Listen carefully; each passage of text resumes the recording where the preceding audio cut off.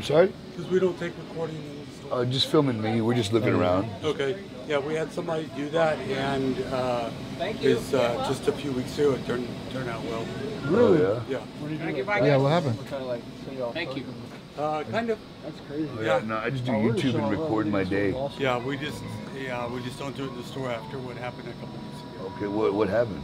It didn't really matter, but yeah, it didn't turn out well for the person. But they actually got a lot of flack for it. They actually took down their site for it. Yeah, it's unfortunate, but they actually got a lot of flack oh, for it. They actually took down their site for it. Yeah, it's unfortunate, but it's true. They actually got a lot of flack for it. They actually took down their site for it. Yeah, it's unfortunate, but it's true. What's up, guys? I'm here visiting my competitor.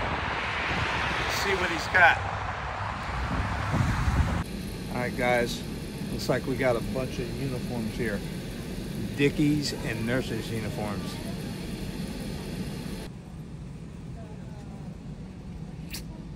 Yep. Looks like a Dickies outlet for sure. skirts and a lot of dickies.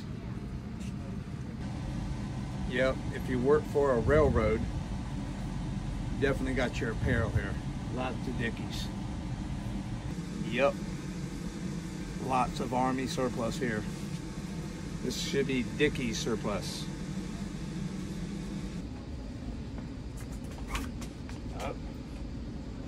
Got a trip hazard right here. Gotta watch that guy. God damn. $149.98 right there. Holy shit. God damn. That's some high dollar stuff right there, boys. Top of the line right there, my friend. Definitely buying that. Looky here, boys. It's a nice fine pillow. Can y'all see that price on there?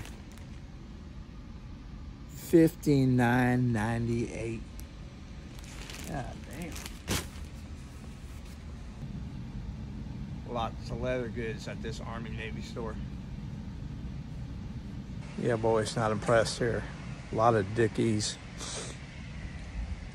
A lot of China shit.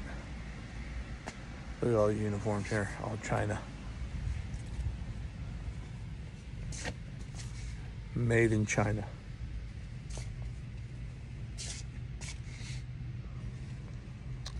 Not impressed, boys.